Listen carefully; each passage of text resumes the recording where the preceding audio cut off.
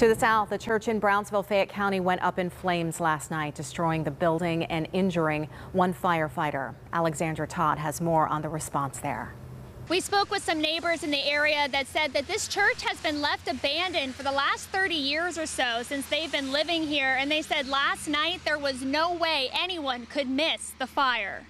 The before photo of the abandoned First Baptist Church. Now just piles of bricks and stone remain.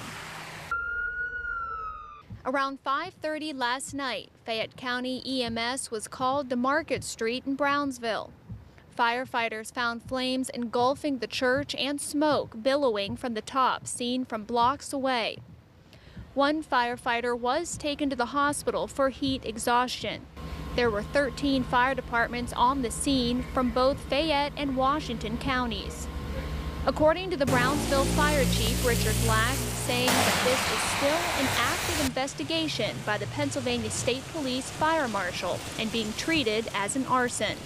Investigators have confirmed that the church has been condemned for many years and stick with us because we will be keeping you updated on this investigation. In Brownsville, Fayette County, Alexandra Todd, KDKA TV News.